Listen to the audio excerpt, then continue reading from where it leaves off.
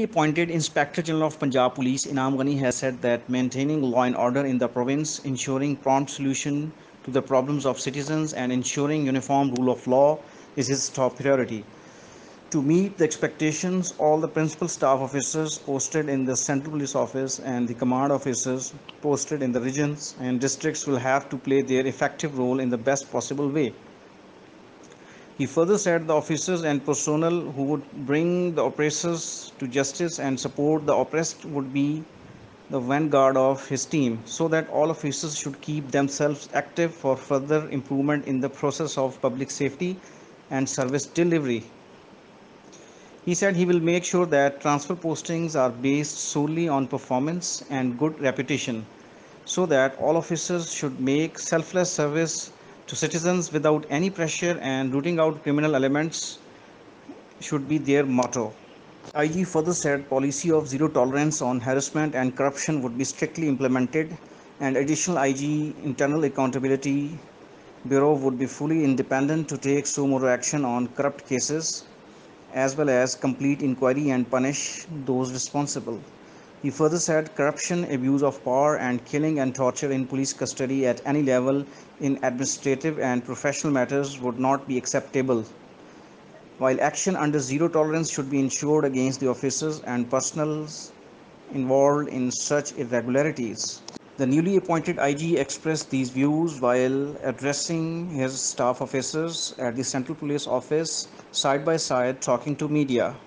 Responding to media questions, he said there is no grouping in Punjab Police and all reports regarding grouping of seniors and juniors are contrary to the facts and baseless. Inam Ghani said CCP Lahore, all RPOs, CPOs and DPOs are committed to protect and serve the lives and properties of the people by ensuring implementation of government orders and police is a disciplined force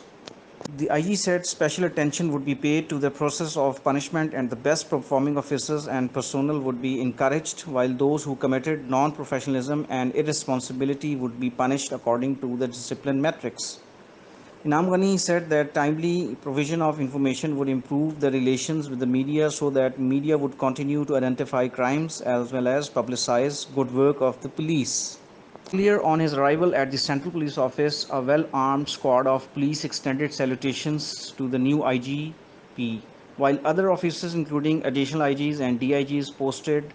in the Central Police Office welcomed Inam Ghani. The IG also held the first formal meeting with the officers at the CPO and issued important instructions to the officers regarding his policy, priorities and performance of professional matters. Additional IG PHP captain retired Zafar Iqbal Awan additional IG IAB Azhar Hamid Khokhar additional IG training Shahid Hanif additional IG research and development Ghulam Rasool Zahid additional IG establishment B A Nasir additional IG safe city Rao Sardar Ali Khan DIG legal Jawad Ahmad Dogar additional IG logistics and procurement Ali Aamir Malik and additional IG operations Zulfiqar Hamid Additional IG CTD Muhammad Tahir Rai, DIG Zaim Iqbal Sheikh and others were present in the meeting.